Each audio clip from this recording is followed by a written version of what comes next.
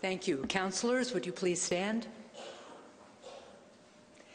Please raise your right hand and, where appropriate, state your name and residence. I, of, do solemnly swear that I will bear faith and true allegiance to the United States of America and the state of New Hampshire, and will support the Constitution thereof. So help me God.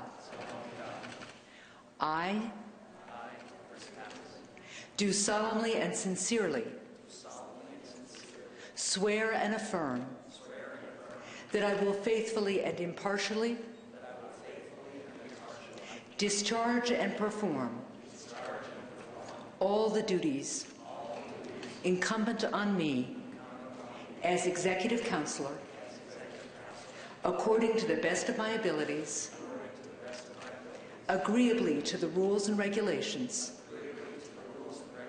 of this Constitution and laws of the state of New Hampshire. So help me God.